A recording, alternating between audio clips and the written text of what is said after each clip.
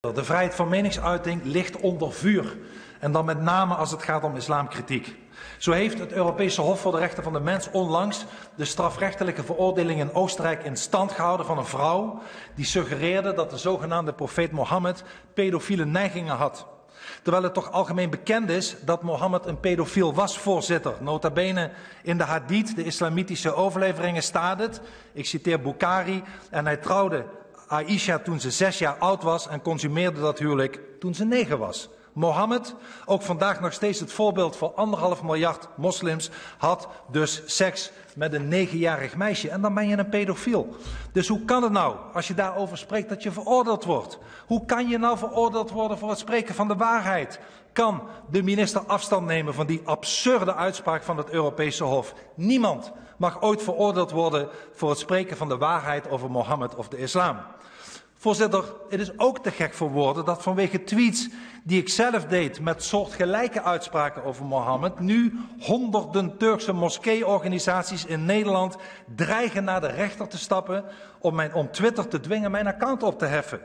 Een voorbeeld van de ziekelijke drang tot het de mond willen snoeren van alle islamitische critici, voorzitter, islamcritici.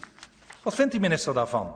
En wat vindt hij ervan dat een Pakistaanse geestelijke onlangs, ik heb hem er niet over gehoord, een fatwa over mij uitsprak, waarin hij moslims opriep mij te vermoorden? En is het de minister met mij eens dat het onaanvaardbaar is dat nu ook onze ambassadeur in Pakistan door die extremistische barbaren daar wordt bedreigd? Voorzitter, religiekritiek mag. De waarheid spreken over Mohammed mag. Het maken van een cartoon mag. Dat mag allemaal in dit land. Want de vrijheid van meningsuiting is het meest kostbare wat we hebben. Maar we moeten het wel verdedigen. We moeten wel het lef hebben om die vrijheid te verdedigen. Iedere dag opnieuw. En dat kan deze minister doen door keihard afstand te nemen van die rare uitspraak van het Europese Hof. Ja, voorzitter. Als het gaat om de uitspraak van het Europese Hof, is dit natuurlijk het grootste flutantwoord wat hij maar had kunnen geven. Ik had gehoopt dat de minister zou zeggen: die uitspraak van het Europese Hof, daar neem ik afstand van. Want die vrijheid van meningsuiting is onze allerbelangrijkste vrijheid. Waar, en onze belangrijkste verworvenheid. Voor mijzelf is het ongeveer de enigste vrijheid, mevrouw de voorzitter, die ik nog heb.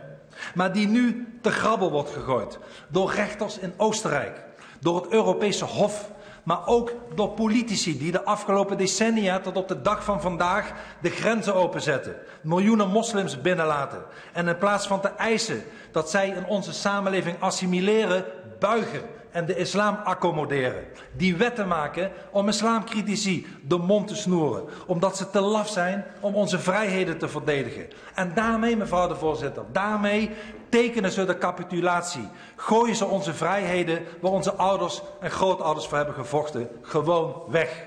Oostenrijk, meneer de minister, heeft verwerpelijke wetten. Maar het Europese Hof legitimeert ze.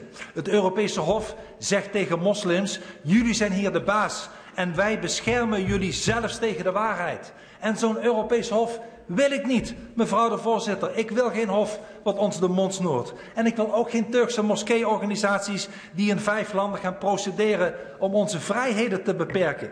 Dit is Nederland. Als je liever onder islamitische wetten leeft, ga dan weg uit Nederland. Ga dan in een islamitisch land wonen. Voorzitter, onze vrijheden zijn ons meer waard dan de politiek correcte instituties als het Europese Hof, waar rechters zich gedragen als bange, laffe mensen. Mensen die capituleren, verraders van de vrijheid.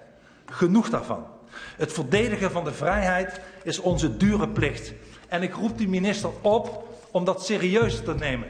Niet een voorbereid tekstje voor te lezen, maar het serieus te nemen. Zegt u nu dat die uitspraak van het Europese Hof die iemand heeft veroordeeld, de veroordeling heeft bevestigd van iemand die de waarheid sprak over Mohammed, dat u die uitspraak naast u neerlegt. Dat moet u doen.